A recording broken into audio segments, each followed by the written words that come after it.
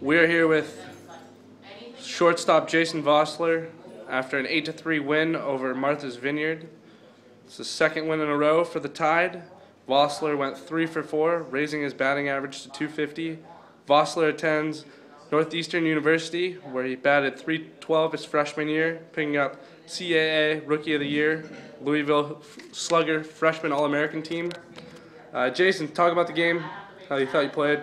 Uh, I just thought it was a great team effort. Pitching was great. Offense pounded out 16 hits, eight runs. Uh, defense was good, and I think we're gonna get on a roll. Made a little bit of a skid, but I think we're gonna get back at it. Talk about uh, your first year here in uh, Old Orchard Beach, the experience so far.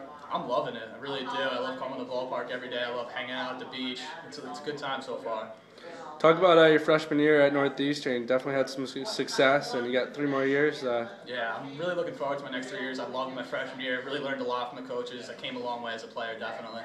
uh, just talk about uh, what you guys can do to be successful for the end of the year. I just think we got to start being more consistent. I think we have a really good team, but we just got to play more consistent. I think we'll, I think we'll make the playoffs. Good luck with the rest of your, year, Jason. Thanks for your time. Thank you very much.